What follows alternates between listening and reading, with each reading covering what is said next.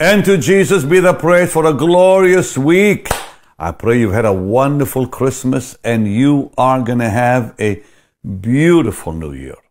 Lord, I thank you for your people. And I thank you for giving us the greatest year ever. Lord, I believe this with all my heart. You, sweet people, agree with me right now. Lord, we believe with all our hearts that this will be the greatest year ever, ever. That all the losses will be restored in 2022 and your blessings will be mighty in 2022 in Jesus' glorious name. And God's people said, Amen Amen. I'm so excited about teaching today on the gifts of the Holy Spirit, and we'll continue tomorrow. But let's begin. And by the way, thank you for joining me. Thank you for being my wonderful family. So, uh, 1 Corinthians 12, beginning at verse 7 But the manifestation of the Spirit is given to every man to profit withal. For to one is given by the Holy Spirit the word of wisdom, to another the word of knowledge, by the same Spirit, to another faith, by the same Spirit, to another the gifts of healing, by the same Spirit, to another the working of miracles, to another prophecy, to another discerning of spirits, to another divers kinds of tongues, to another the interpretation of tongues. But all these worketh that one and self same Spirit, dividing to every man severally as he will. Now, I want you to write something on a piece of paper if you can, and write three headlines. Headline number one, put revelation gifts. Right next to it, write vocal gifts, and then power gifts. Just kind of make like three separate, one line, one here, one here. And then under them, you're going to write what they are. So the first ones is revelation gifts. The second headline, vocal gifts. The third headline, power gifts. Now, the, the revelation gifts I'm going to teach on today. Tomorrow I'm going to cover the vocal gifts and power gifts. So let's talk about the revelation gifts. What are they? The word of wisdom, the word of knowledge, and the discerning of spirits. So when, when we just read First Corinthians 12, 7 and, and, and on, we saw the gifts listed in their order.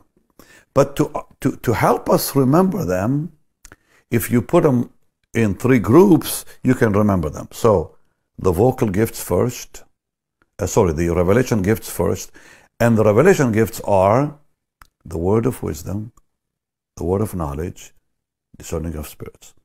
The, the vocal gifts come second. What are the vocal gifts? The vocal gifts are tongues, interpretation of tongues, prophecy, things you speak. And then you have the power gifts. The power gifts are, what are they? Faith, healings, miracles. So on your list, you're going to write under the revelation gifts the word of wisdom, the word of knowledge, discerning of spirits, which we're going to cover today. In the center, under vocal gifts, you're going to write tongues, interpretation of tongues, prophecy. Then on the third list, you're going to write faith, healings, miracles. That's how you can remember the gift. So let's deal now, let's deal with the first group. And the first group is the word of wisdom. So, what is the word of wisdom? The word of wisdom is the application of the word of God in the right place, for example. So it's the application of knowledge. Uh, when the Lord Jesus was tempted by the enemy, if we look at Luke chapter 4, for example, when the devil came and said, If you're the Son of God, turn this, these stones into bread, he used the word to defeat him. That's called the word of wisdom. And he used the word and he said in verse 3 and on, it says, it says, And the, and the devil said to him, If you be the Son of God, command this stone that it be made bread. And Jesus said, answered him, It is written that man will not live by bread alone, but by every word of God. So that was the word of wisdom. He knew exactly what scripture to use to defeat him. That is called the word of wisdom. So the word of wisdom is knowing the Bible and knowing how to use it against your enemy. So the word of wisdom uh, will solve the problem. The word of wisdom will solve the problem. The word of knowledge reveals the problem. Okay? But the word of wisdom solves the problem. So when you face a temptation, you know the scripture to use to diffuse it, to remove it, to destroy it. And then he, he came again and said, Now, if you're the Son of God, uh, and he kept tempting the Lord, but in every case, the Lord used the scripture. So he says, If you will worship me, I'll, I'll give you the whole world. And the Lord exactly knew what to do. He used a scripture. You'll worship the Lord your God, and only him will you serve. Now, the devil is also smart. He can use scripture, but he uses it wrongfully. He said, Why don't you cast yourself down? For it is written, He'll send His angels. And the Lord spoke, You'll not tempt the Lord your God. So the word of wisdom was, was used very powerfully in the life of the Lord. And you and I can use that same word of God wisely. That's what the Bible says. Have an answer. Have an answer. The problem is people don't, don't, don't know the word. Because you see, let me say, let me say something. It's very, very, very important. If we don't know the old covenant, we, we will be defeated. It's not enough just to know the New Testament. Jesus used the old covenant to defeat the devil. Mm-hmm. There was no New Testament written. And most, well, I shouldn't say most, a lot of Christians ignore the Old Covenant because they say, well, it's the Old Testament. No, no, no. It's the Word of God. It's the full revelation of God. Without the old, the old covenant, you could not believe. You and I would not be able to believe the New Testament because it has no foundation and without the old. The old covenant gives the new covenant the foundation it needs. Because see, that's what when you read Matthew, he says, For it was fulfilled, that because it was written. So here is the fulfillment. So the Old Testament the Old Testament in the New is revealed, and the new in the Old is concealed. Can I say it again? The New Testament in the Old is concealed, so you have to search for it. But the Old in the New is revealed. But back in the in the days of the early church, they did not have Matthew, Mark, Luke, and John in any of the epistles. They, they had to find Jesus in the Old Covenant. So we need to know the full Word of God, both old and new, to defeat the devil. And so Peter says, have an answer for your enemies. And we need the word of wisdom. The word of wisdom is the application of facts, the application of truth. So when they came in Matthew 22, verse 15 through 22, and, and they, they tempted the Lord, they came to tempt him. If you remember this most remarkable uh, account in the Bible, let me just read it to you. So let's go to Matthew 22 and let's look at verse 15. And here's what it says. So it says, Then when the Pharisees and took counsel how they might entangle him in his talk, and they sent to him their disciples and so on, and they said, Now tell us in verse 17, what do you think? Is it lawful to give tribute to Caesar or not? But the Lord perceived their wickedness and said, Why do you tempt me? Show me the tribute money. And they did. And he said, Render unto God what belongs to God and to Caesar what belongs to Caesar. How did he know to say it? Because it's in the Old Covenant. Because Moses had written that they need to pay temple tax. They need to pay their taxes. So the Lord knew, yes, pay tax. It belongs to Caesar. So whatever belongs to God, give it to God. Whatever belongs to Caesar, belong to uh, give it to Caesar. And he destroyed their, their, their, their attack, really, it was gone. He went into nothing. So the word of wisdom, the Bible tells us, and, and you, do you remember also in Acts 23, Paul the, the apostle using it when he realized there were Pharisees and Sadducees and he used the scripture to literally save himself. So it's quite an amazing uh, truth here. Now, Ephesians 1.17 says it comes by prayer. So we have to pray for the word of wisdom because in, in Ephesians 1, Paul said, Paul said that he prayed that the church would receive wisdom. Remember that? So let's look at it. Ephesians 1:17. Here's what Paul said that the God of our Lord Jesus Christ, Father of glory, may give to you the spirit of wisdom and revelation in the knowledge of Him. So that gift comes by prayer. Now let's talk about the word of knowledge. The word of knowledge is revealing a problem. The word of wisdom is solving a problem. The word of knowledge is revealing a problem. That is specific information given by the Holy Spirit concerning a need or a problem. In Acts chapter 5, we see this gift at work, quite powerfully, in fact. And I want to explain something to you in just a second that's going to really, really help you. So in Acts chapter 5, uh, I'm going to read verse 3. And Peter said, Ananias, why hath Satan filled thine heart to lie to the Holy Ghost, to keep back part of the price of the land?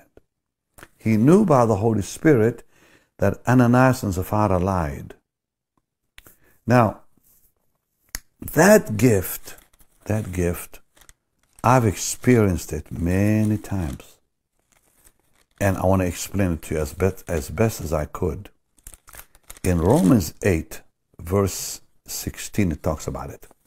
So Paul writes about that in verse 16 of Romans chapter 8. The Spirit Himself bears witness with our spirit. It's the witness of the Spirit. Now, what is the witness of the Spirit? It's in Hosea. Hosea chapter 12 talks about the witness of the Spirit because God in Hosea 12 talked about this when he said in verse 10, I have also spoken by the prophets. This is verse 10, Hosea 12. I have multiplied visions and I use similitudes. What are similitudes? Impressions um, the Bible calls them similitudes. It's the, it's where spiritually, not mentally, not mentally, spiritually, you know something deeper than the mind can go. It's a knowing beyond knowing. It's a knowing so deep you can't shake it off. It's called similitudes. Have you ever been on the highway and you sensed danger ahead and get, got off the highway? That's called similitudes, in impression. Something you know and you don't know how you know. You just know. You sense danger before the danger comes and you get out of the way. You are about to get in a car and uh, you sense, uh uh, not now you're about to get on a plane. I will never forget. I was about to fly on a private plane years ago. I got to the airport and uh, I said to my guys, I'm not getting on. And Henry, my brother, was with me. Said, Ah, it's only your mind. He said, I'm not, I'm not going on this plane. There was nothing wrong in the natural. Everything was just fine. The pilot comes out, Captain Dan was his name. He said, Why aren't you coming on? I said, I'm not. And he said, Well, everything is fine. We're, we're, we're going to fly. Not me. So I went back in the car. Everybody's saying, he's lost his mind. The guys who came with me came, they had no choice. My brother and some of the other staff went on believing it's all fine. And I said, no, I said, I'll, I'll just, you know, not want to get on. And within minutes, well, they took off, the air lost the pressure, and the masks came down, and they had to come back and land. Wow. And they all were freaking out. How did you know? How did you know? I said, I cannot explain how I knew. I'm on a boat 40 miles off from Ormond Beach. A guy in our church in Orlando wanted to take us fishing. We come out of the harbor, we're 40 miles in, and I start screaming, Get back now to land, get back to shore now. All my brothers were there Willie, Sam, Chris, Henry. They got really upset with me. They said, Well, we, we just got it. We want to go fishing. I said, uh uh-uh, uh, you got to get, get back to land. And I began screaming. I really got very, very bold. And the man who was the owner was very a gracious man from Italy. He was Italian living in Florida. And they were all just so upset with me, except him. He goes back to shore. Everybody's still upset. You ruined our day. We, we, we, why are you like that? We will never take you with us again, all that stuff. And an hour later, that boat was underwater. And the guy called me, the owner said, How did you know? How did you know? I said, No, what? He said, We would have been killed. We would have drowned had you not told us to get back to land. As they were going out of the harbor, we all heard a little crack, but nobody paid attention. He hit something underneath. And, the, and he said the boat was sticking in water the whole time we were going. And an hour later, when we got back, an hour after, it was gone. How did I know? I can't explain that. Father, in Jesus' name, give them that. Yes. You, come on, lift your hands and because you need it. It could save your life. And you too yes, there. Lord. Lord, in Jesus, give them that. Yes. Lord, I don't know how it, it works, only you know how it works. But give that to your people, Lord, that they will be saved from danger in Jesus' name. It's an impression. It's an impression.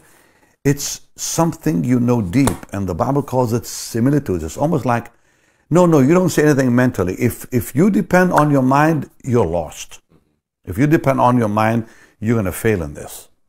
There are times on that platform when I know so deep something, I don't, I can't shake it off. It's not mental. It's way more powerful than mental. That's the word of knowledge, and every believer can have that. Because Paul the Apostle had all gifts. Paul had all gifts. Now, and I don't have time to show to you, but if you read the New Testament, the epistles, you'll see he had every gift. All the nine gifts were in his life. So the Bible says, seek after the best gifts in your life. Now, number three, discerning of spirits. This is a very amazing one because discerning of spirits is the supernatural ability given by God, by the Holy Spirit, to detect or to perceive the source of a spiritual manifestation. Whether that manifestation comes from the Lord, whether that manifestation comes from the spirit of man, or whether it comes from the demon spirit. So let's look at Acts chapter 10. So in Acts chapter 10, we see something really amazing. We see Peter perceiving the Holy Spirit through Cornelius, which was not possible in the natural. Here, here he is as a Jew, taught all of his life, never talked to Gentiles, never associates with Gentiles. And now he goes to Caesarea and he realizes for the, for the first time that this is God when all his life he would have never believed God would ever speak to a Gentile or God would ever visit a Gentile. And his first words after uh, Cornelius says, and an angel appeared to me and said to call you, Watch verse 24. Peter opened his mouth and said, Of a truth I perceive. I perceive. What, what is he perceiving? He was perceiving it's the Holy Spirit. He said, I perceive perceive that God is no respecter of person. In every nation, he that fears him and works righteousness is accepted. So there, Peter perceived the Holy Spirit when in the natural it was impossible to perceive God in the Gentile, the life of, the. Because even, Jesus said to them before the cross, don't go to the Gentiles. Don't go to the Samaritans. Now, after the cross, the Lord said, Go into all the world. But somehow I don't think they really heard him right. Because Jesus said in Matthew 28, Go ye into all the world and preach the gospel. They're thinking, Go to the world and preach to, to, to the Jews only. To the Jews only. Even when when the Lord in, in the book of Acts says, Ye shall receive power and be my witnesses in Jerusalem, Judea, and the world, I think they were just thinking Jewish world. Now God comes to Peter in my hometown, Jaffa, a block away from where I was born, the house of Simon the tanner, and God shows him a vision with animals, and he says, "No, no, not not me, Lord. I you know I don't touch anything unclean." And God says, "Don't you call unclean what I've cleansed." I have Jeff with me, Ferguson, my dear friend. We're working on a great book together on the anointing. Well, now you know Peter is questioning, and the Holy Ghost has to say, doubting nothing. Don't question it. I'm, I've sent these men. He goes to, to Caesarea a whole day, 24 hours walk basically. And he gets into the house of Cornelius. And as Cornelius is speaking, he says, I perceive God. That's discerning of spirits. Now watch something amazing. In Acts chapter 8, he perceives the spirit of man. Because in verse 18, it talks about Simon the sorcerer. Well, Simon says, Give me the gift. He tries to buy the gift and says, So I can lay hands on people and they'll receive the Holy Spirit. And Peter rebukes him and, and says in verse 20, Your money perish with you because you, you, you thought you can buy. Repent. And then he said this watch this. For I perceive, verse 23. He was perceiving the human spirit. For I perceive that you are in the gall of bitterness and the bond of iniquity. I perceive bitterness and iniquity in you. He was able to perceive the human spirit. Then in Acts 16, this is the most amazing one of all, in my opinion, where a woman was speaking truth. A woman was speaking truth, and Paul perceived the demon. Therefore, speaking truth does not guarantee it's from God. Right. Because you, you think about Cornelius. Cornelius could, could, could have been lying to, to Peter, because as a Gentile. But Peter knew it was truth.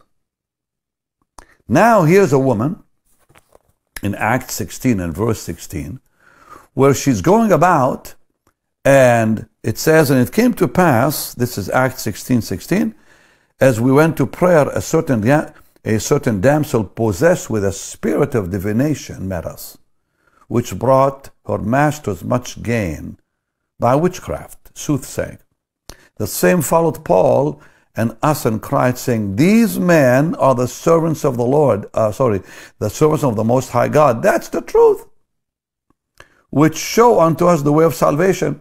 She was telling the truth. And it says, and she did this for many days. But Paul, being grieved, turned and said to the Spirit, I command thee, in the name of Jesus Christ come out of her. Now, how did he know it was the demon spirit who was speaking truth through this lady? Discerning of spirits. So here, the discerning of spirits, the, the reason for it is to protect. It's to guard our life as believers. And it's not mind reading. It's discerning of spirits. What spirit is talking to you? Is it God, like through Cornelius? Is it man, Simon the sorcerer? Or is it the demon, that woman? No. Now it's time we understand that we need that gift more than ever before. I want you to lift your hands to heaven and ask God to give it to you because the Bible tells us to pray for those gifts. Pray that God will give you the gifts of the Spirit. Father, in the name of Jesus, give them the gifts of the Spirit today, Lord. Lord, I pray every one of them will have today, today, the word of wisdom. Today, the word of knowledge. Today, the discerning of spirits. Lord Jesus, give your people now, now, the gifts of the Spirit. All the gifts of the Spirit. Let them begin to operate in their life. I give you the glory. I give you the honor and the praise, Lord. Meet their needs and Lord, give them the gifts of the Spirit. And let the gift of wisdom today operate. Let the gift of the word of knowledge operate. Let the gift of discerning of spirits operate today, Lord. Let all the gifts come to life in Jesus' holy name. I give you praise. Tomorrow, as I begin to teach on tongues, the interpretation of tongues and prophecy, tomorrow's teaching will be a little bit longer because I want to finish all of it. I want to say something here that I'm going to repeat tomorrow. Tongues is what is the is the key that turns the engine on. Think about this. That the gifts of the Spirit are the engine. The fuel is the Bible. The fuel is the Bible. The engine is the gifts. But the gift of tongues is the key that turns the engine on. Whenever you pray in tongues, you ignite all the gifts. So we'll talk about that tomorrow. It's very important. I think that's why Paul said, I pray in tongues more than you all, because praying in tongues ignites the word of wisdom, ignites word of knowledge, ignites discerning of spirits, ignites interpretation and prophecy, ignites faith and healings and miracles. It ignites all that.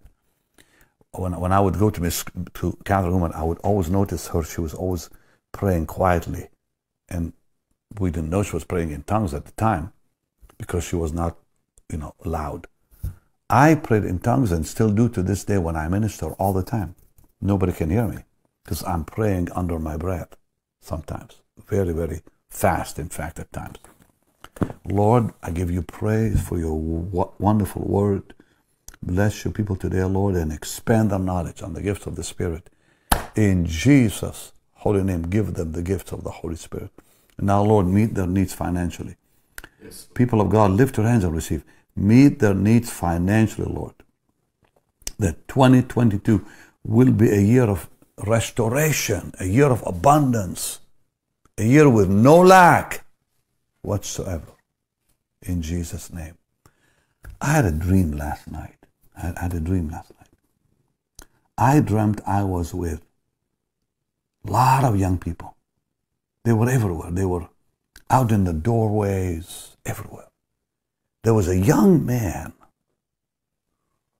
thin with a beard. I don't know who he is. I never saw him in my life. And he was singing a song about restoring the anointing. I woke up this morning. I woke up this morning with a song in my in my in my mind. Chetty was incredible this morning. And I woke up with restore the anointing, Lord, restore the anointing. And the young people were intensely hungry. It was like a packed place. And I was ministering to them. And the cry came out of that young man who seemed to be like a, a psalmist, very beautiful voice, very anointed crying, Lord, restore, and I woke up with it.